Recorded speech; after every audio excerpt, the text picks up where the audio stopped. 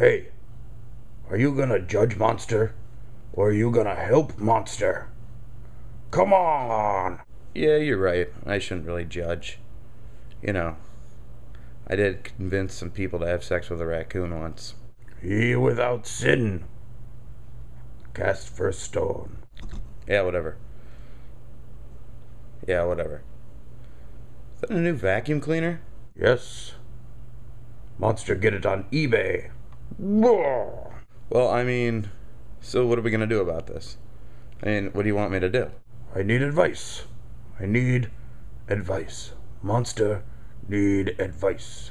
Well, what you gotta do is you gotta go up to these kids and, or you know, whatever, these people, and uh, you know, talk to them. Tell them how you feel. But whenever Monster tried to talk, children run away.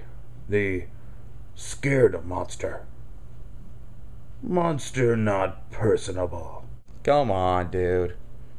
You're pretty sweet and you got nice hair. Yes, I know. Monster know this all too well.